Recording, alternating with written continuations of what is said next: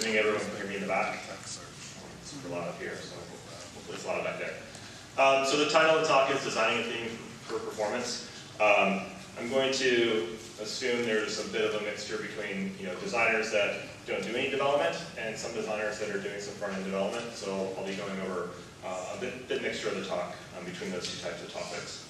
Um, in my talk, I'm going to talk a little bit about my company, um, just really quickly, um, and about me, so you have the background of myself. And then I'll get into the why it's important. I think that's really critical for people to come away from these types of talks to be able to sell it um, to whether they're clients or their, their bosses or, or executives, um, because it's one thing to learn how to do it, but they're not going to give you the time to do it. Um, that's another, another issue. So go through some tools um, that I've used over the years uh, and, and, even recently, um, and then um, reduce, reuse, recycle, which will make more sense when we get to that.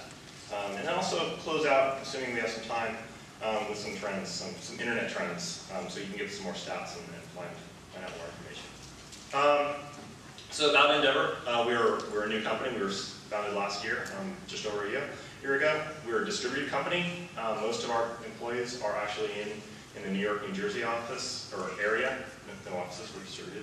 Um, I live out in Colorado, um, along with another employee. Um, and our average experience is actually pretty high uh, uh, among agencies. Where average is actually 15 years.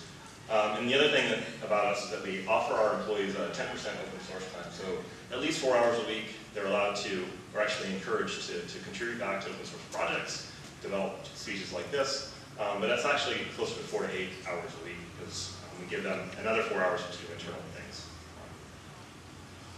Myself, I'm the president of the company. Um, I, I, do have a technical background, um, and I've been building websites actually for almost, um, well, getting closer to 20 years actually, um, and professionally for 18 years uh, of that. I just moved out to Colorado, and here's some information contact me, I'll be around obviously as well. But if you ever wanted to reach out, and ask after the talk. Um, quickly, some of our, our, WordPress clients. We are a new company. Um, we're able to pretty quickly engage with, with some pretty large brands um, on, on, their engineering side. And I'd like to open up with some, maybe some initial questions, but it's kind of a big room, so I'll, I'll kind of make some assumptions. But mainly for this slide, if you wanted to go and, find these slides, there, there's a lot of links in this slide, and some of the links are even long, and even the bit.ly link was, a bit long. Um, but if you take a picture of it, it's just uh, bit.ly slash ndevr dash design dash perf um, to keep it a little shorter. Um, that way you can follow along or, or just get the links. I have a, all of it at the end as well. Um, so first off, so why is it important? I wanted to go through a quick case study of a, of a client of ours that we, we took on recently. Um, and this first one is a video. Um, I'll explain the video. It's on the right side, you're going to see the, the new site, the new, new improvements. Um, and on the left side, um, you'll see the site as it was before we took it on. And you'll go to the home page, a channel page, and then a, and an article page to get you an idea of kind of what the end user has to deal with if they are able to click right away as soon as they see the page load. Um, and hopefully the wi my Wi-Fi is good, but I can switch over maybe the Yahoo for the, there we go. So on the right side, I already went to the home page. Um, that's loaded. I'm going to go click on something. I'm going to go into the channel page, like I said. Um, that's loading. You know, this isn't super fast, but this was with, with just a few days of improvements on our part. It's already on the article page on the right side um, at this point. Um, on the left side, you'll see it's actually on the uh, channel page finally. Um, it's still loading the channel page and in another few seconds, it will load the article page, start to at least. Um, and about 40 seconds into this, I believe it was, they were able to see three pages on the website. Um, so as you can imagine, a lot of, a lot of users were dropping off um, on a site like that. I mean, this is an extreme case, but even incremental improvements um, do, do make a difference. So this was some of the initial stats from um, Google Analytics. Um, as you can see, their, their, their uh, stats are pretty, pretty much like any normal site where you go up and down depending on the day. They have good articles certain, days that get picked up by, by Facebook or, or users. Um, but then around May 22nd, just after that date, um, is when we started making the improvements over the course of three days, just a few. Um, and the sessions climbed pretty dramatically, as you can tell. Now, here's the actual stats. So sessions were up. This is a month's uh, worth of data. So a month compared to another, uh, the previous month, it was up 67%, users were up 57%, page views were up 47%. Um, now this has had a few things. Um, it, it, wasn't all, oh, all right, we fixed their site and, and we're just amazing or anything like that. They had some really good, great content along that time as well. Um, but they've had really great content before and they couldn't have spikes. And the problem was the site was going down. Um, so when we took over, it, the big thing wasn't just to make their site faster to help the end users, it was also just to keep it stable. Um, so when they would get spikes, they couldn't have this increase because they couldn't maintain it. Um, so there, there was a, a, little bit of that as well. But you know, the idea is if, if, your site is responsive, people are going to share it because um, they're going to see it faster and they're going to get a good impression of you. But also, if they don't see it at all, they're never going to share it, um, clearly. Um, and, and some more information, um, so why else, right? Because mobile. Um, you know, mobile devices are typically, smaller devices are typically on, you know, they're, they're a mix. There's, there's sometimes you're on good Wi-Fi, whether you're at Starbucks or at work, but a lot of times you're on the go, um, seeing sites. You know, these are these trends. These are graphs showing the trends of it trending up.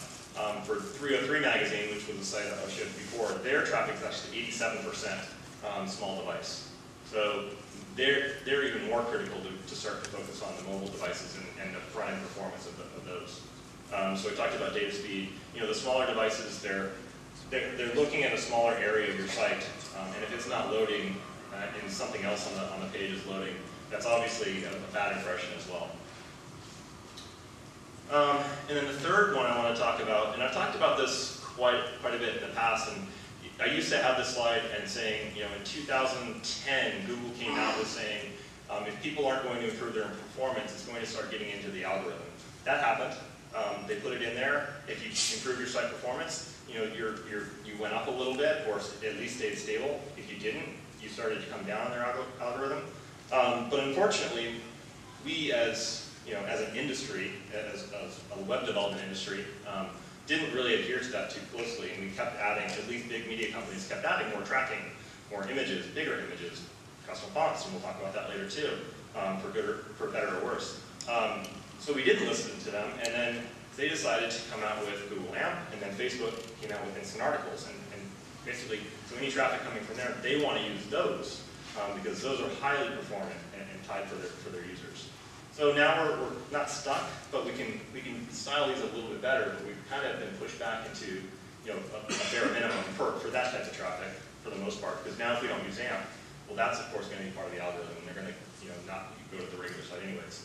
So you can style it more than we've styled the one on the left. Um, that's our site where we haven't spent a lot of time making it great because we're an engineering company. Um, we're, kind of, we're not a design agency. Um, but we'll, we'll eventually add some style, or brand colors and things like that, because you can add that. But what you can't really add right now um, is a heavy amount of tracking, um, the type of, you know, if you wanted to do some testing and, and things like that, that's much more difficult for these. So we're going to be limited for a little while again. Um, some tools now. So we talked about why. I want to get into some tools. This was a tool I showed you a minute ago. This is an interesting tool because it's not really going to help you fix your site, but it's an interesting way to test your site. Um, you can test it in the way I showed you before, where you can make some improvements, see how visually um, enhanced it is. Um, you can compare yourself to competitors, if you'd like to do that. Um, on the right, the one drawback, so I'm, I'm comparing Drupal.org to WordPress.org. Um, but thankfully, both of these have actually switched to HTTPS, and, and this tool actually doesn't, um, while it's served off of HTTPS, it doesn't, it can't make those requests at, at the moment. So it's a little bit limited where you'd, you'd have to do non-secure sites or fake that for, for yourself to be able to test two, two non-secure sites. Um, but it is a pretty good tool for, for quickly showing you know, either yourself or stakeholders um, why the site needs to be better. Um, another great tool um, is books. Um, this book in particular, um, I've, I've read before. it's, it's done by a woman Laura, who, who, runs the engineering, or a, a engineering team at Etsy. Um, Etsy is a company that has a lot of open source um, that they've sent back, a lot of talks, a lot of um, contributing back, and her team, I, I, believe her team is primarily focused on performance, so there's tons of information um, that you can find from her. But the book is actually really concise. it's not a massive book. Um, and the other part, good parts about it is that she actually donates all the all the proceeds to uh, a few charity or a few um, areas of education um, for, for lower for underprivileged people or for things a few other organizations that are really great. So it's not about making tons and tons of money for herself, and it's, it's a really good book also.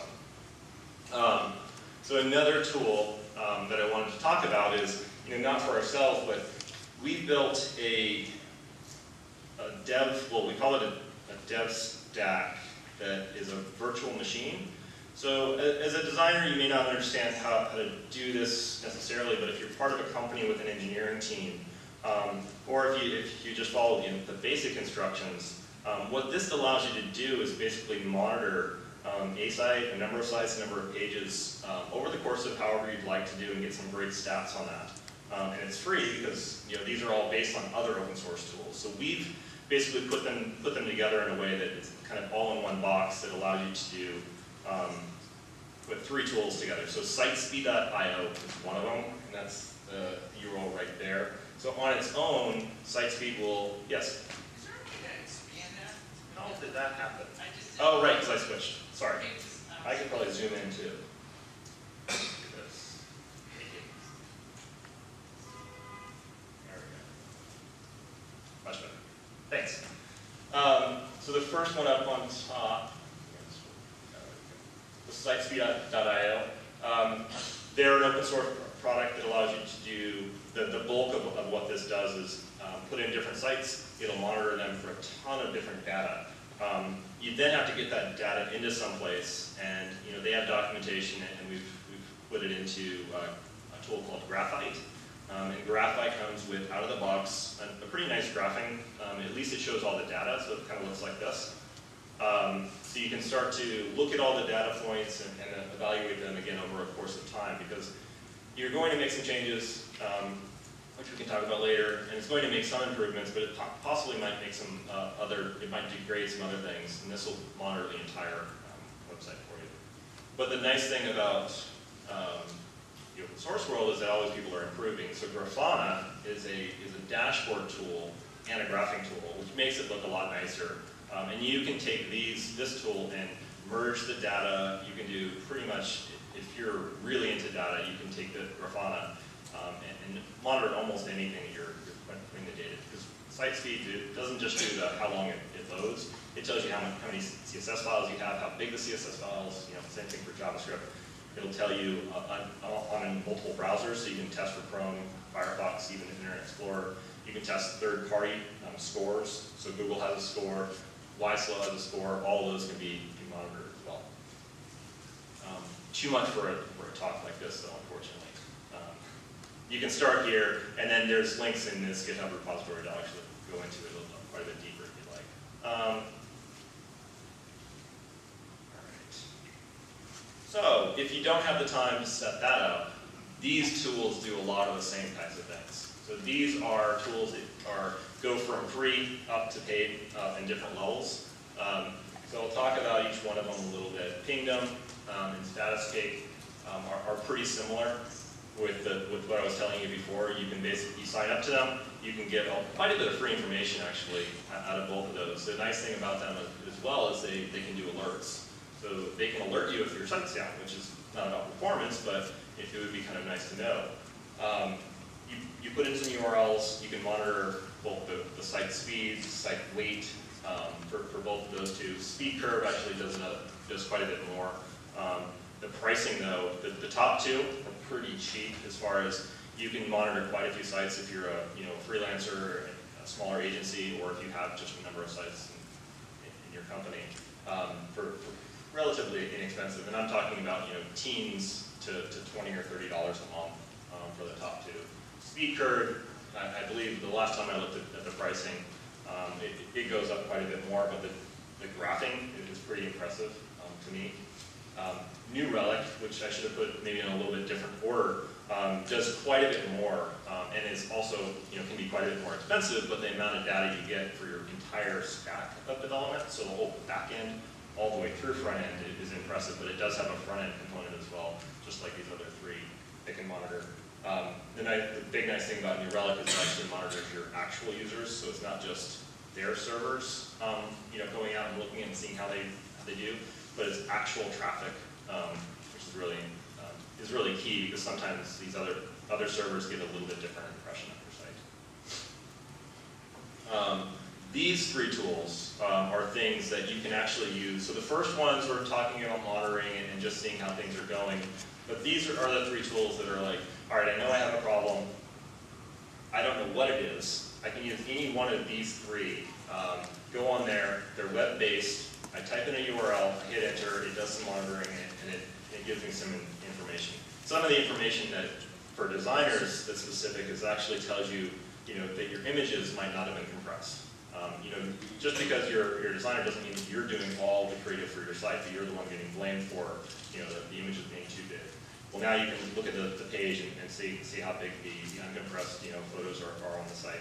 Um, it'll tell you if, if you should be doing some, some lossless or, or even if you should be compressing your CSS or JavaScript, um, if you have control over that. But it gives you a grade. You know, obviously A on the top of it is the best. Um, you know, page speed on, on the bottom is, you know, pretty closely tied to Google's algorithm as far as, you know, if you're getting a good grade there, you can assume that you're getting, you know, a good grade in Google's algorithm for, for performance. Um, you can monitor if it's, if it's mobile or not as well. Um, I use these, again, when I'm, you know, if, if I know there's a problem, I need to go in there and, and evaluate it really quickly. So while I can look at the site and, and you know, do other things manually, I can just go here, put in a URL and let it, let it run for me. Um, another thing is, is, is hosting. Um, you know, if you're hosting on a, on a cheaper host and you're no, well, if you, if you have performance problems, um, you know, this is one thing that you can take a look at pretty quickly if you're, if you're hosting on a cheaper host. A lot of, lot of uh, sponsors out there that do hosting. Um, I, I don't think any of those are in this bucket. Um, you know, you can, you can evaluate them differently, but it, it also depends on what you're, what you're trying to get out of the, out of the site. So you can pay for highly performant hosting, you can pay for, for solid um, performant hosting, and, and there's the, the pricing is going to be you know, vastly different. Um, but it doesn't mean that one's better or, or worse depending on their type of pricing. But when you're talking, you know, a lower lower tier, um, you're kind of getting what you're paying for. You're having performance issues. Um, so getting into um, some of the things you can start doing. First off, um, as a designer, sometimes you have some, some control over this, specifically around you know, the choice of using PNG, GIF, JPEG for, for all, of, all of your images, um, for, the, for the, how the look and feel of the site is, is, is factoring in. Um, I'm, not, I'm actually not going to go into you know, SVG and how to use them very often, but the most, most sites have switched into using SVG for a lot of the, the, the creative aspects of, of, the site, not, not the photos, obviously, but a big reason for this is that SVGs are essentially code, um, you know, that you can manipulate very easily. So a lot of the icons that we see today are, are you know, social icons and, th and things like that are, are, actually SVGs. And you can go, you can customize those um, along the way. This, this link is actually another session to talk about some of the pitfalls because if it was if it was perfect and we should be using them all the time, um, or, or, there was no issues, then everyone would be using them all the time. But unfortunately, there's still some pitfalls around cross-browser um, and, and you know, things like that that they go into. Um, the next thing is, as you know, a designer, if, if you or, or, designer and developer, if you if you have control over the site, um, as far as you know, fixing the 400s and 500s. Um, I'm going to skip that one a little bit, but that's essentially performance of your site and usability. Um, the big thing around optimizing content, if you have any, if you're in control of the UI, um, whether you're designing the, the, the, UI UX for, for an initial client or a redesign, um, I'm talking about, you know, home pages tend to, to grow um, pretty quickly. Um, you know, they have, they start out with a few, few images and, and articles linking from them, and then they grow to 50 um, pretty quickly uh, on bigger sites. everyone wants their stuff on the home page or channel pages. you know, the, the amount of stuff that you're going to put on the homepage is going to greatly reduce the performance of the site, whether it's images or just content um, alone. Um, the other part of it, as you know, is, would be just usability and you know, how, how much you have to scroll. So optimizing their content, whether you have control over that or if you can encourage others, um, is pretty important for performance. Um, talked about this a little bit before. This is what the, the thing on the right is about, aggregating your CSS with JavaScript.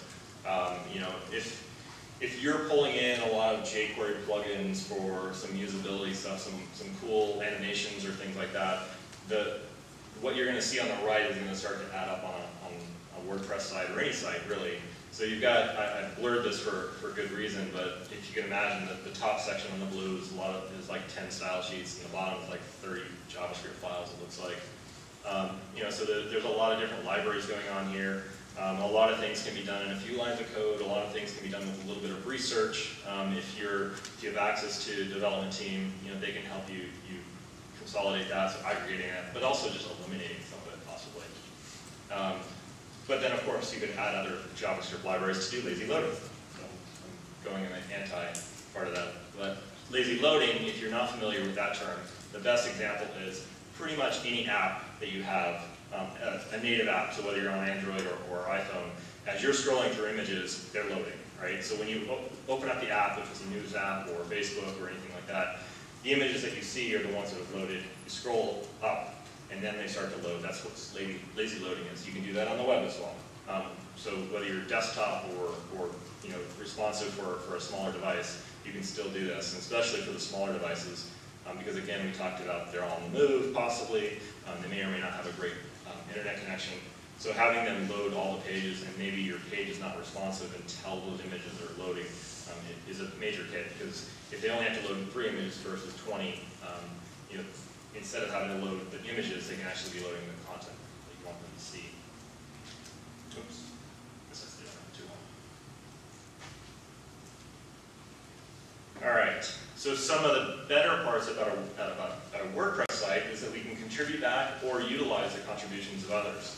So these plugins are specific around images um, that are that are all freely available. Um, you know, if you use them, you can obviously contribute back if you have different issues. You can also make requests for them. The first one is, is actually an Automattic um, Jetpack. It is the main plugin, but it has a number of what they call submodules in that one, and Photon is that. So Photon will, so rather than if you spin up, or if you have your WordPress site and you put upload images, all the images are served from your site. Um, so you have content and images served from your site. Just by enabling Photon, um, it actually sends the, basically puts those images on Automattic servers, essentially. But it'll make one request for the image, and then every user after that will pull that image off of, off of their servers. Um, so if you envision the idea that rather than having every, so if you went from you know 10 users, let's just use small numbers, to 100 users in growth, um, you have one image that gets served from your site, not 100. And if you're doing it per second, per hour, obviously this becomes more important. But even for sites that don't have a ton of traffic, um, they're able to serve these images probably a lot faster and potentially even local or closer to, to the end user. So you're getting a performance boost just by that, even if you don't um, have a full ton of traffic on your site. You image optimizer and, and Kraken are those are plugins that you're going to be they're going to be processing the image a little bit better, so they're going to be reducing the size for you. Um, there's good documentation of both of those, but these are, and then compressed JPEG does, does a similar um, thing. Kraken also does something similar to Jetpack if you want to serve it off of their infrastructure. Um, but I would honestly recommend, you know, that you potentially, or even Jetpack alone, um, you know, if, if, I was spinning up a new site, um, I would probably go with Jetpack alone initially because it can do um, the resizing for you, it can serve this images for you, it's hosted by Automattic, um, so the WordPress.com infrastructure is, is behind it. So, we've met through that pretty quickly, so hopefully we have a lot of questions. But, oops, I'm going to go into the trends page. So this is what, what I talked about earlier about talking about some trends. So it's one thing to, to you know, to talk about performance, we all say, oh, it's important, but unless you're getting stats and data um, from different places, um, it's not going to mean much to the people, like I was telling you before. Unless you're running your own company or running your own site and you do everything and you can tell yourself that, oh yeah, this is important, I'm going to do it. Most likely we work for someone, whether it's a client or a boss, that we have to tell them how, you know, why it's important and, and why the, you know, why we need to make these improvements and spend time or money on it. Um, this, this is going to tell us a little bit more information about you know, the web in general. Um, so it goes back So if you're not um, familiar with HTTP Archive, essentially HTTP Archive is, opinion, the archive of the web. It, it spiders the web, it spiders a bunch of data around the web, it does some ca caching, I guess, uh, of websites. Um, but the, this site, or this page on their site, trends.php, will actually aggregate a lot of that data and give some, some interesting graphs about how things have, have progressed. So it only, it's only showing us back to 2010. Um, I would love to show you kind of the, the, the, whole gamut of the web because it's actually an interesting kind of pattern um, that I can talk about. Basically what we've seen over the years is that sites were light. Um, we decided as, you know, as designers or visual people, we want to add more images, more interactivity, so the sites started getting heavier again. Then we found out that, well, people don't like the sites that are looking pretty because they have to wait five or 10 seconds for them to load, so then they got light again. You know, you can envision a, a graph, I'll probably show you one down here that does something like that. Um, yeah, like the CSS transfer sizes. So we, we keep going on this pattern. It's a cycle, um, essentially, that we, we get ourselves into over web development. We've probably done it about six times as far as, you know, getting sites that are bloated, we shrink them down to a certain amount. We don't shrink them down to the original size because their bandwidth changes and gets better.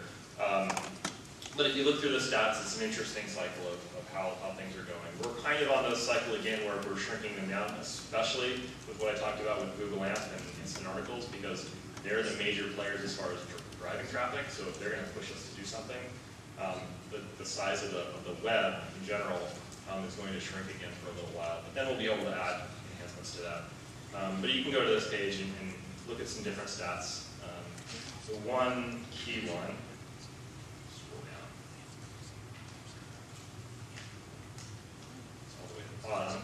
It's the one I like. Oh, this just last night. Yeah, there it is, the red one.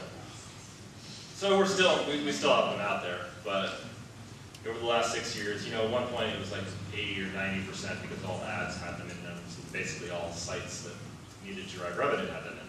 So we're down to about 15 percent according to, to the, their stats. Um, I think, I'm pretty sure that these are still just advertisers, but um, hopefully there's not too many sites out there that do this flash screen.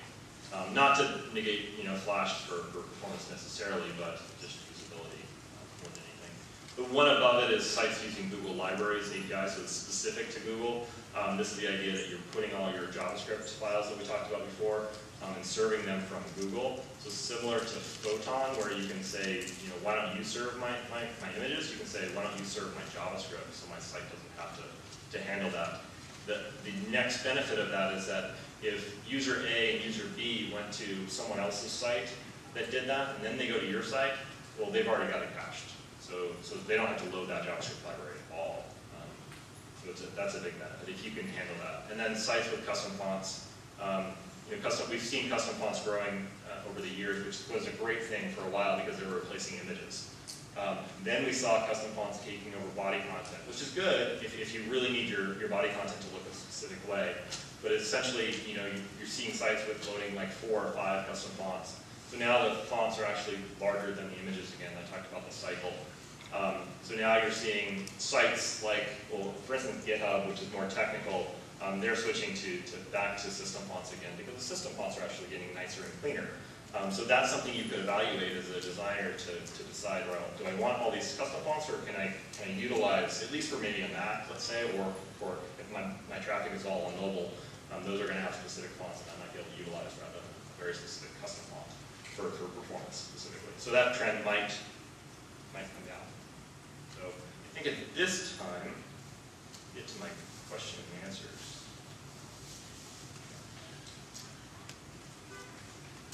But first, for a quick review, we did talk about why it's important based on a case study and some data. Um, you know, this is something that you could find article after article about, about these types of things. So if this wasn't, you know, directly to, to your point, I didn't go over like an e-commerce model. I've done that in the past. So if you're an e-commerce site, there's a lot of data around that. Um, we did talk about a few tools um, and a few ways of, of, of, implementing different some of those tools. Um, and quickly about the trends. So transition into questions. So I got 10, 10 minutes. Great. Yes.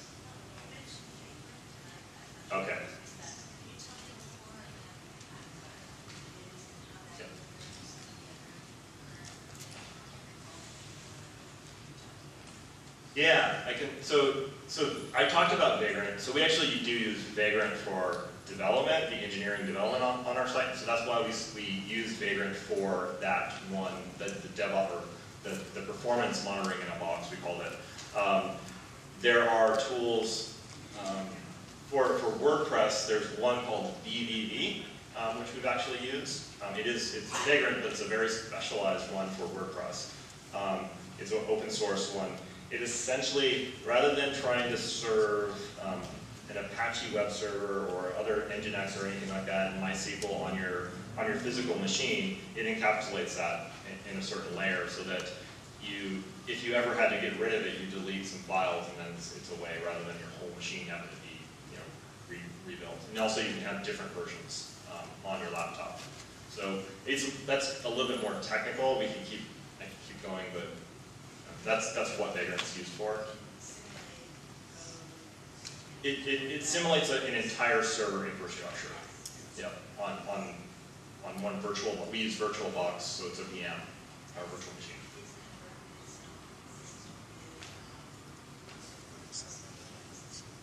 It is compatible, and it's, you can actually do it for,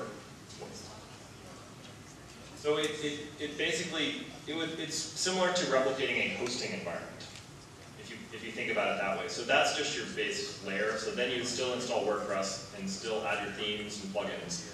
Um, so all, they're all going to be compatible, especially with VVV, because it's specifically kind of tuned for, for WordPress. Yes? But You talk about tools for images, JavaScript, what about video? Check performance of video.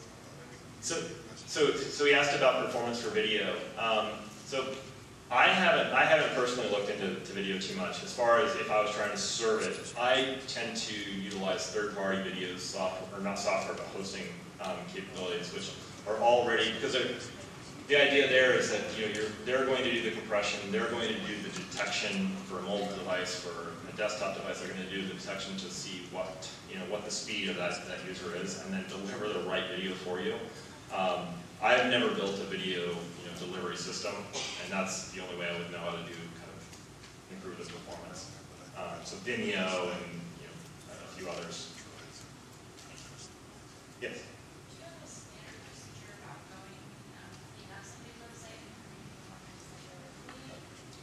I, yeah, so, so walking into, she asked if I have a, a standard procedure for kind of going through if, if I'm, you know, a a site that's broken, or not broken, but, but badly performing. So the, I'll, I'll walk through the 303 one pretty, pretty quickly. So the first thing I evaluated on 303 was, you know, the front end of it, so I used the, I think I used YSlow, I also use, I use Chrome, so I use, I use developer tools inside of Chrome.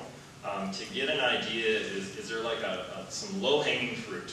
Because it, with anything, whether you're doing performance improvements or you know fixing usability, you want to fix the things that you can fix fast and, and that are really affecting a lot of users. So I try to find things that are really slowing the, the site down. So and front end was, was kind of the key for that. Um, when I looked at that, their front end, while it was slow, I didn't see anything that was like glaring. The image sizes were pretty big, um, but that wasn't something that I could fix across the board really quickly. Um, so that's why I had to, for them, I had to move back into the back end infrastructure, and I used um, to, to pitch them a little bit New Relic um, that monitored the, the infrastructure, and that's immediately where I saw that I didn't even have the code at that point, but I could I could tell immediately that it was in the theme. Um, they used a, a premium theme that they paid for, um, downloaded, installed it, and it worked for a long time. And then they got to the point where they had hundreds of thousands of pieces of content, and they actually had a thousand pages. Um, so they, they were using pages in an interesting way, basically. Um, but the theme had loops of it would go through all the pages and then build um, build uh, widgets for for the, each page multiple times. So it was having 20,000 on page. Um, so that was pretty low hanging fruit. Um, but you're, you're going to find those types of things, but, but try to look for whether you're using monitoring tools or, or something else that is a clear, you know, performance issue. Because it's, I, I tell everyone, and everyone kind of knows this, you get 8 to 80% level pretty quickly. It's that last 20 or 10% that, you know, they're not a performance site in my opinion yet, but the amount of time and, and cost is going to is to take them a while to, to get to that point. Yes? Uh, You mentioned uh, like off- offline servers like uh, Photon. What's your opinion of of CDNs like Cloudflare? Yes. Yeah, so we asked about my opinion on, on CDNs like Cloudflare. Um, we use Fastly as well for, for other things. Um, At this point, I would, I would, I don't know of a good reason necessarily to not use a CDN, um, because they're free, like Cloudflare, um, has a free, a literally free level, um, that also gives you, um, HTTPS for free. Um, so, so you're getting an instant boost in, in, in performance. The other nice thing about CDNs, which is outside of performance, um, is security. Um, so they're, because they're serving so many sites, the reason that, that some of them are doing it at a free level is because they sell security on the side as well. But they're giving us some, some help on security. So if there's an attack, if there's a, a vulnerability, which is, is pretty key, whether it's WordPress that gets released and you can't update your plugins fast enough or your or core fast enough, they'll already put a layer in, in front of that. Just like a lot of the hosting companies, but it's an extra layer. So even if you haven't updated your security possibly, and it's a well-known threat, they'll, they'll basically eliminate that um, on, on top of the performance. So it's CDN is, is one of those things where I, yeah, I would definitely say that's, that's almost a no-brainer. Um, it does take some extra configuration. Um, so whether it's your system administrators or your development team, um, but it's, there's a lot of inf- information out there, especially with WordPress, um, to enable that and, and do it the right way. Yes? Um, so when you're doing, uh, performance testing or monitoring, um, are you setting like a performance budget that you wanna hit, or does that come from the client, say, or how do you establish those exactly? So, yeah, I mean, I, I've read a lot about performance budgets, and we, you know, as a, as an agency, um, haven't, ha- haven't been asked to do that for, for our clients. Um, we, we've set it, so we've set it for our own site, but our own site doesn't have a lot of images, so it's, we're, we're hitting it. Um, that's, that's one of those things where the client or the product team has to be working collaboration. We were actually talking about that um, offline a bit, where, yeah, you need that, so a performance budget is essentially what it's costing us for, for this performance hit. Um, because you can evaluate um, as whether you're doing new develop or new design development, um, or if you're trying to improve things by, all right, I want to cut this section of the site. Well, that could have a cost. By, you know, let's take, we're going to take away the, the buy now button, or you know, as a simple thing. So that's going to take a cost, but it might have a huge improvement on performance, which will you know add to the budget. So there's a lot of things you have to evaluate there.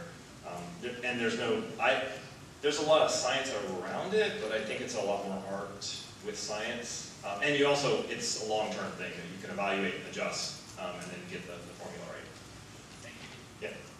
Can do two more? Two more? Oh, two more? Yes. Oh. Two more, or maybe no more. I don't see any hands.